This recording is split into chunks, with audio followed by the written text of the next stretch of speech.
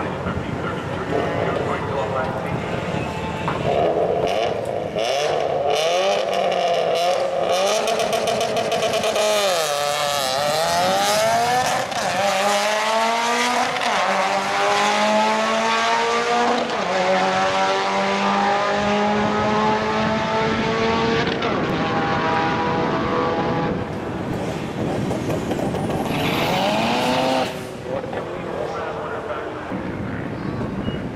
Uh, let me see if I go that way.